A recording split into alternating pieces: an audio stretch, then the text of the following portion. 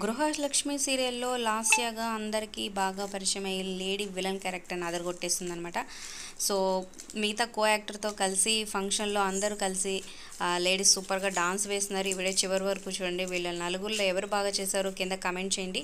ఈ వీడియో నచ్చితే లైక్ చేసి మీ ఫ్రెండ్స్కి షేర్ చేయండి. మా ఛానల్ నుంచి మరిన్ని ఇంట్రెస్టింగ్ వీడియోస్ అప్డేట్స్ కోసం సబ్స్క్రైబ్ చేసుకొని పక్కనే ఉన్న బెల్ ఐకాన్ ప్రెస్ చేసి ఆల్ అనే నోటిఫికేషన్స్పై క్లిక్ చేయండి.